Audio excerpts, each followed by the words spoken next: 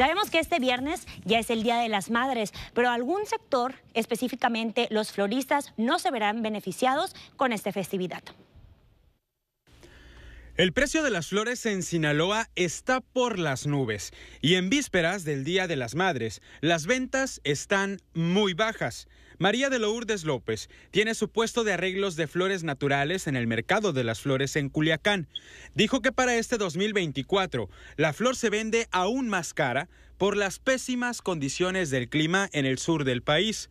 Señaló que los precios son accesibles en la florería López y trabajan las gladiolas, pompones, margaritas, girasoles y hasta la rosa roja.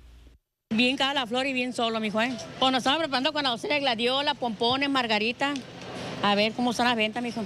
Ahorita está la docena de gladiola 150, la docena de clavel 150, la docena de rosa 400, los arreglos chicos 150, la rosa roja está a 40 pesos cada una y la docena de 500 a 400.